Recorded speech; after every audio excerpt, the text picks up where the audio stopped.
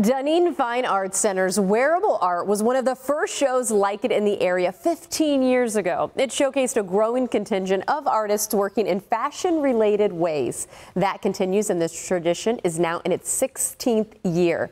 George Ann Bissett, president and CEO of the Dunedin Fine Arts Center, and Raya DeMulder, wearable art designer, join me now. Ladies, welcome to the show. How Thank are the so both much. of Good. you? Thank you. Very well. Thank you. So let's first talk about the history. I mean, this is mm-hmm. one thing that people look forward to all year, don't they. Georgia? And we didn't have it for two years because of COVID, but we continually got telephone calls about it.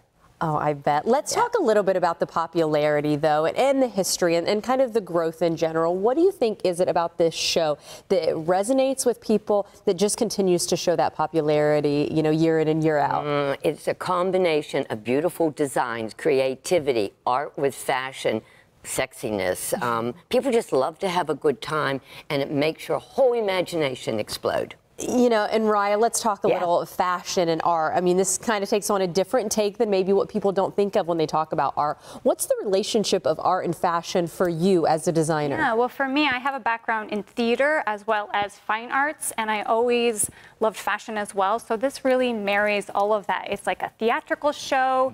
It kind of lets you, you know, traditional fashion shows are there to sell their work. This really lets you run free with your imagination and make it more uh, like celebrate the artistry rather than the pushing of the commercial aspect of Yeah. traditional fashion shows. And I was saying, you're, you're smiling right along. Oh, yes, it's, it's yes. these creative elements that you are able to witness and that people, why again, it always uh, Yes. almost sells out each year. It I mean, really does because the, we have artists like Ryan. We've had them for uh, 15 performances. It's just sensational. It is never the same. And it's not clothing that you can actually wear to a party, but it is just outrageous. Um, one of our designers 14 years ago had a dress made of meat pre pre Lady Gaga, and we've had dresses made of everything, even condoms. And I got in a bit of trouble over that. Did you? We didn't bring that one here No, today, no. did we? No, we but didn't, we talkers. But it's talkers, and I feel like that's what art is supposed to be about. Yes, yes, it really is. It makes people think and talk. We hmm. step out of your zip code and out of your area. I like that. And that's what you're able to show on the models. That we are getting ready. You've brought two looks. We actually get to have a little bit of a fashion show, if you will. Let's go ahead. Tell us about the first look that we're going to see today and, and the first model, if you will. Uh, the first model uh, is Simi, and she is wearing a look that uh, is actually made from a giant Chinese lantern.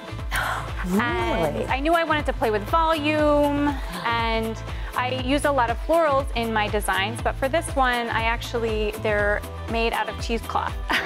Really? Yeah, I use a lot in the other ones. You will see the one coming up next. It's more uh, commercially made flowers, but for this one, it's all handmade. Can we talk about the headdress, though? Is that even the correct name? Because that is yeah, gorgeous. Yeah, thank you so much. Um, I think in wearable art, at least for me, um, I'm heavily influenced influenced by goddess and that type of archetype. And uh, you know there's such a rich human history in uh, storytelling and so often these type of shows for me anyway i love i love a good headdress so it often becomes the center point of a lot of my designs I, I love that. And I feel like kind of the goddess vibe. And I feel that Yes. too for our second model here as well. Yeah, Beanie is in a little bit of a darker look.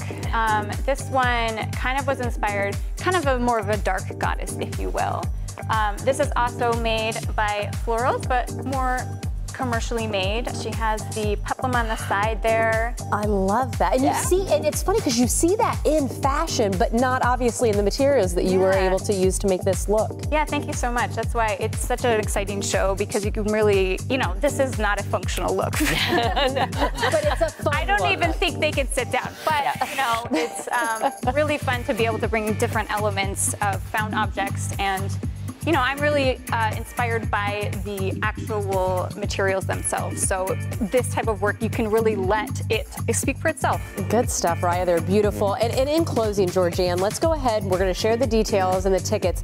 I liked hearing about there's what, like party tickets available? yeah. You've got. I mean, break down all of the fun that people can have because there's really a ticket for every budget, right? Right, the tickets go from 85 to 130 to be in the theater, but you can come to the Art Center and have a standing ticket um, for $20. We're doing a pre-party. We call it our pre-glow party. Pre-glow. And we'll have live music and bars, and you'll have the opportunity to have your photograph taken. You know, you do your own Oh, selfies. nice. And then after the show, there's another party.